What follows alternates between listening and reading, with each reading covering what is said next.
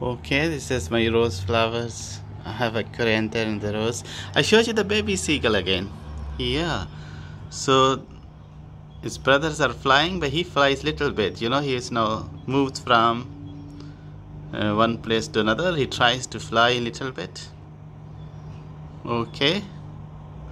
So this baby seagull is now how much old? Um, on 8th July, I noticed uh, it was uh, well enough to walk, but now it flies little bit. Other is two um, baby seagulls, brothers and sisters. The one is sitting here. They fly well.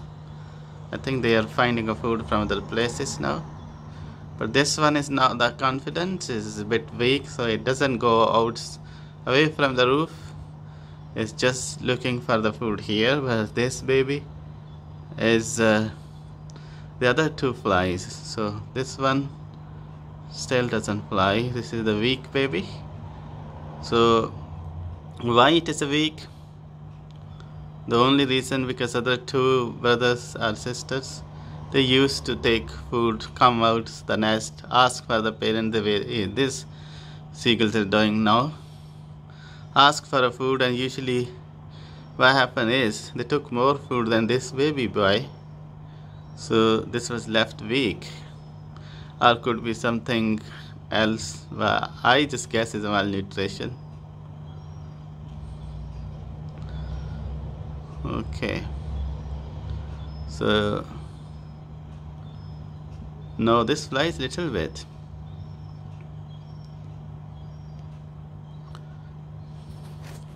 Ah, they see, you see?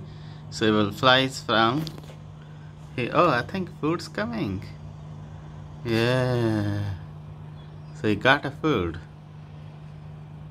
Yeah, it's desperate now.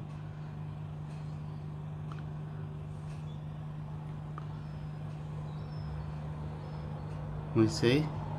So this is the way he is uh, but the parents will want him to fly but still because he's not able to fly that they are bringing food.